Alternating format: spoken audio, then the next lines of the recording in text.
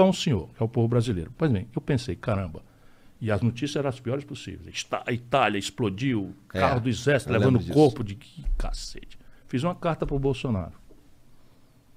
Eu às vezes me odeio. Fiz uma carta para o Bolsonaro. Ó, esse negócio aí, esse negócio aí é uma coisa muito grave e acho que a gente tem que baixar as armas e temos que pegar junto. Estou resumindo, temos que pegar junto, todo modo e tal. De maneira que eu gostaria de lhe dizer que com as seguintes sugestões o senhor pode contar comigo. Corcel Cor.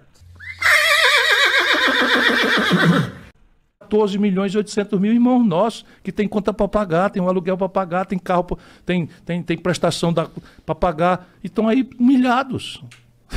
40 milhões de pessoas empurradas para a informalidade. 500 mil, meio milhão de brasileiros morreram. Bom, é, então, vou dar uma de monarca aqui, seu advogado do diabo, é, que o Bolsonaro diria, se, a gente, se ele tivesse aqui, que a culpa disso é dos caras que mandaram fechar a porra toda. E é, vamos raciocinar, vamos raciocinar. Como é que funciona isso? Quando veio a pandemia, Igor, quando veio a pandemia, eu pensei, eu sou um opositor, cumpro o meu dever tal, e sou duro. Eu não tenho rabo de palha e eu sou duro. Para defender o que eu considero justo, eu sou duro. Não tenho, falo que é ladrão e aí tem processo e tal. Eu vou lá, perco, ganho, mas sou duro. Eu, eu só sirvo a um senhor, que é o povo brasileiro. Pois bem, eu pensei, caramba. E as notícias eram as piores possíveis. A Itália explodiu, carro é, do exército levando o corpo de que cacete. Fiz uma carta para o Bolsonaro. Eu às vezes me odeio. Fiz uma carta para o Bolsonaro.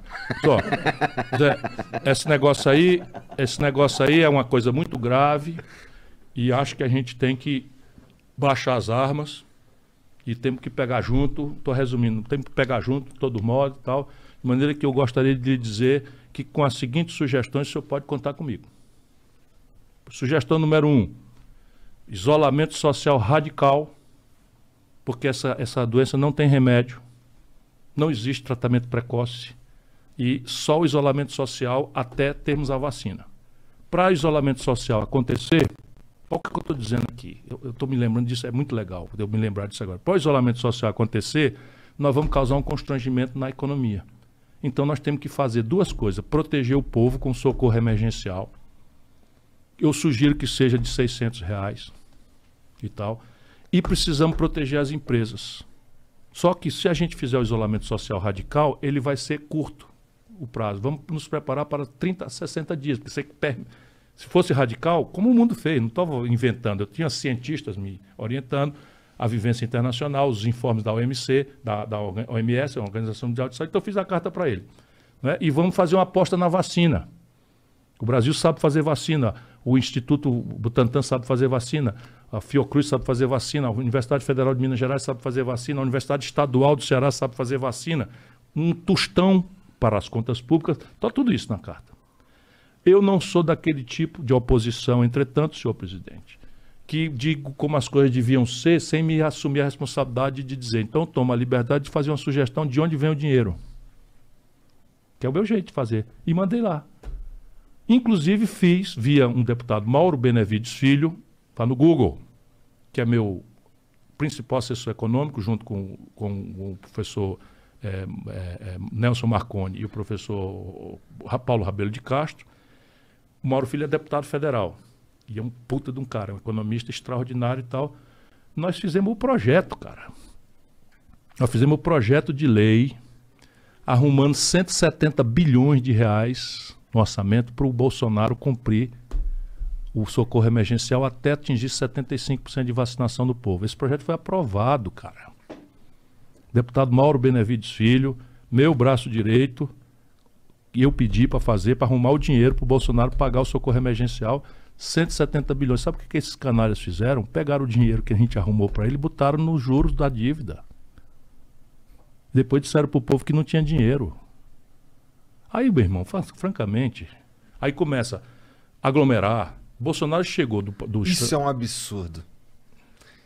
Tá, isso, tá vendo o que eu estou te dizendo? Isso é um absurdo. Eu, da oposição, via um deputado que é meu braço direito, meu assessor econômico mais importante, Mauro Benevides Filho, deputado federal do PDT do Ceará. Vão no Google e conferir.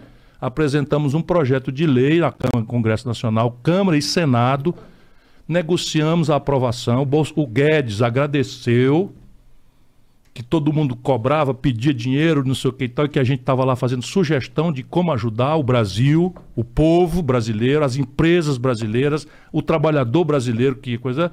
170 bilhões de reais. O Guedes pegou esse cheque que nós demos para ele e botou na dívida, cara. E o cara vai lá e aglomera, igual tu tava falando. E aglomera, é mente que, que, que, manda comprar cloroquina superfaturada. Muito brasileiro morreu, não foi de Covid, morreu de intoxicação. Porque a cloroquina tem efeitos absolutamente tóxicos, e inclusive para o coração. A cloroquina, meu irmão, é um remédio que a gente conhece. Por que, que é o exército? Porque é, é o remédio para a malária. Malária é um protozoário. Não é um vírus. Não é um vírus. Então, como é que eu. Diz assim, sarampo tem remédio? É uma coisa muito simples, ninguém precisa ser médico, né? O Bolsonaro é um enganador, é um mentiroso, é um traidor. Tem remédio para sarampo? Não. Não tem remédio para sarampo, só tem que vacinar todo ano. É. Aliás, é a pior vacinação da história do Brasil para sarampo. Tem remédio para gripe? Tirando os sintomas, você toma Tilenol, você tal, é. para sintoma, para remédio para gripe não tem. Por quê? Porque é um vírus. Tem a vacina. Tem remédio para varíola? Não tem remédio para varíola. É um vírus. Só a vacina. E o Bolsonaro inventa. E não compra vacina. Não, e não compra vacina. Para mim, isso foi o, o, erro. Bom, pô, meio milhão de pessoas mortas. O Itamar Ribeiro, o vereador que começou a vida comigo, perdi. Chorando. O Bega, meu amigo de infância mais querido, perdi. Porra, eu não perdoo esse cara nem a pau. Quem quiser perdoar, perdoa. Isso é um assassino. É um assassino.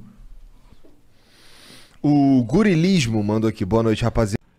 Fala pessoal, obrigado por assistir a mais um corte. Peço que nos prestigie com seu like e que se inscreva em nosso canal para estar a par dos melhores cortes. E peço que também não se esqueça de dar uma conferida na entrevista completa. Até a próxima!